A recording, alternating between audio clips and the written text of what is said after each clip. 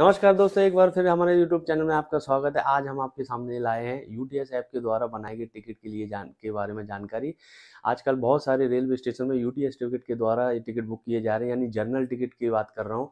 अगर आप UTS ticket से जनरल टिकट बुक कर रहे हैं, यानी वो जनरल टिकट के लिए ही बनाया गया ऐप है तो उसमें आपको हमेशा ज़्यादातर याद रखिए स्टेशन के बाहर से ही वो टिकट बुक होता है, पंद्रह मीटर दूरी से, और आपको हमेशा पेपरलेस वाले टिकट का ऑप्शन चुनना है। क्योंकि अगर आपने पेपरलेस वाले टिकट का ऑप्शन नहीं चुना और पेपर वाला चुना तो आपको काउंटर पर जाकर उसका नंबर डाल के वो प्रिंट लेना पड़ेगा। और ऐसी स्थिति में अगर आपको बिना पेपर के, यानी आपने पेपरलेस का चुना ऑप्शन नहीं चुना और पेपर वाला आपने ऑप्शन चुना और वो जो है मैसेज दिखाएँगे अगर आप गाड़ी में टीटी को तो आपको वो फाइन कर सकता है एज ए डब्ल्यू क्योंकि उसमें पेपरलेस का जो नियम है वो अलग है और जो पेपर वाला टिकट है उसमें फाइन लग सकता है।